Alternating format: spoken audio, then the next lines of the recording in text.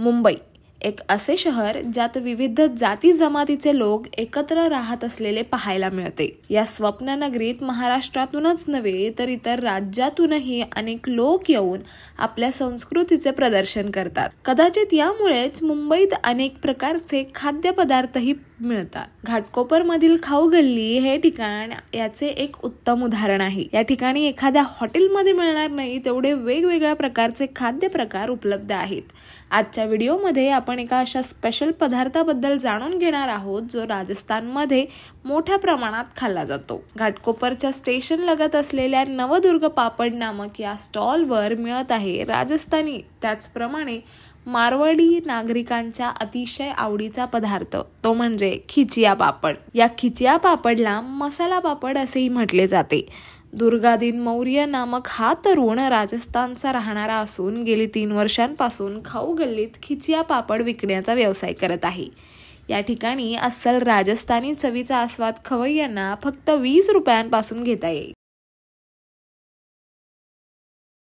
पापड़ आहे. मकाई अभी इसको मसाला पापड़ बनाने जा रहे हैं। फ़र्स्ट में लगाएँगे बटर स्टार्टिंग में अपना बटर लगा रहे हैं।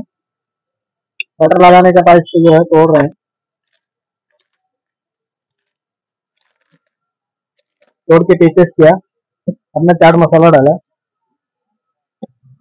डाला स्टार्टिंग में काकड़ी डाला मसाले के लिए। फिर अपना चटनी आया गार्लिक चटनी। नॉर्मली चटनी है गार्लिक मीडियम चटनी है। स्पाइसी चटनी है, धनिया पुदीना वाला। थोड़ा थोड़ा डाल। आगे टमेटो ऑनियन गाजर beet. And lemon black salt चाल मसाला तो डालने के बाद अपना आ गया सेव। स्पेशल सेव। उसके बाद दाल डाला। ये हो गया धनिया और कैरी। म्हणजे बन अपना मसाला खिंचा पापडचा तयार होतो मसाला खिंचा पापड़ कुठल्याही जेवणाची चव दुप्पट करण्यासाठी पापड एक महत्त्वाची भूमिका बजावतो.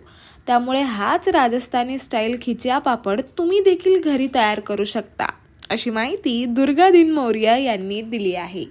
Latika Amol local eighteen Mumbai.